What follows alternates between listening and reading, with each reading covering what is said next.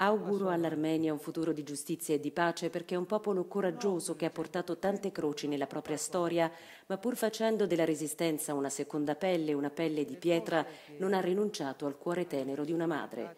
Sono parole intrise di ammirazione quelle che Papa Francesco ha pronunciato per il paese caucasico a conclusione del suo quattordicesimo viaggio apostolico.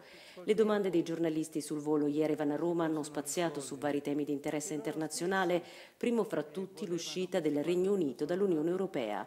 Esprimendo preoccupazione per l'area di divisione che soffia sul vecchio continente, il pontefice ha precisato che l'unità è sempre superiore al conflitto, come la fraternità è migliore delle inimicizie e delle distanze. L'UE è chiamata allora a ritrovare la forza delle proprie radici, sforzandosi però di fare un passo creativo e fecondo. Con spontaneità e trasparenza Papa Bergoglio ha parlato del sinodo pana-ortodosso, delle cosiddette diaconesse, chiarendo che il pensiero delle donne è più importante della funzione che svolgono e che bisogna interrogarle prima di prendere una buona decisione.